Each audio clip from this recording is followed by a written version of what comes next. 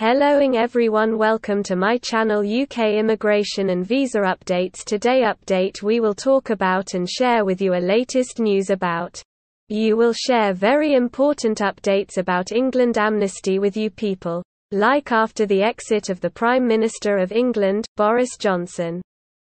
Who was one of the worst governments against immigrants, what are the chances of amnesty and more.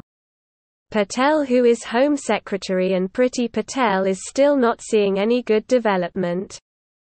But let me tell you that as soon as the new setup comes, they will necessarily have to find new ways for the immigrants to make them legal because there are millions of illegal immigrants at the moment and these immigrants must be used. Will go because the shortage of workers is also increasing with great speed, so Phil Hill, who is very positive about the amnesty signal, take courage. Good development can come very soon and it should also be clear that the government in England the new announcements that are going to be made regarding jobs and immigration must take illegal immigrants into account because there will be no law like any law that comes under Boris Johnson's government that does not include illegal immigrants.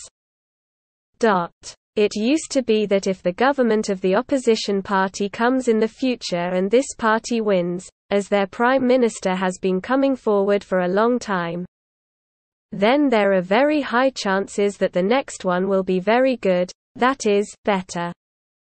The whole situation has come out as development now there is a high hope that the chances of amnesty will increase in the future and new packages may come in the future which will benefit the illegal immigrants.